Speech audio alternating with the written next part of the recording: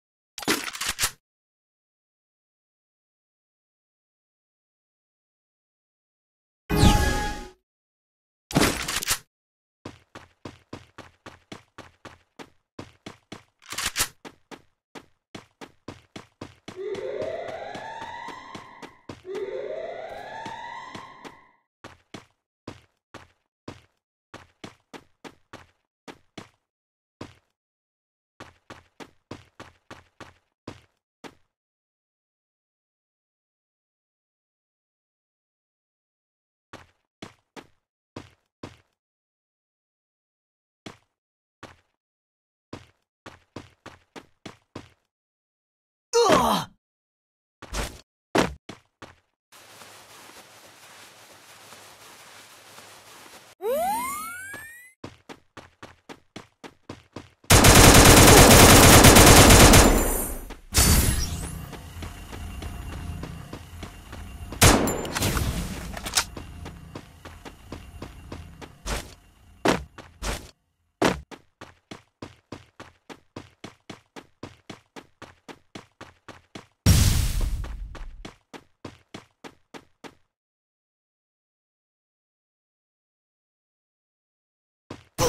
First Doom.